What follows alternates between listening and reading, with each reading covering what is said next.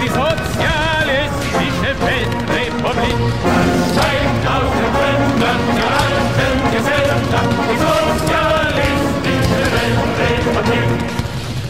Arbeiter Hork, sie ziehen ins Feld und schreien für Nation und Rasse.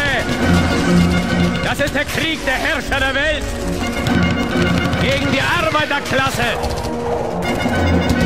Der Angriff gegen die Sowjetunion ist der Stoß ins Herz der Revolution. Der Krieg, der jetzt durch die Länder geht, ist der Krieg gegen dich, Prolet! Arbeiter, Bauern, nimm die Gewehre, nimm die Gewehre zur Hand. Verklagt die faschistischen Räuberheere, alle Herzen die Wand.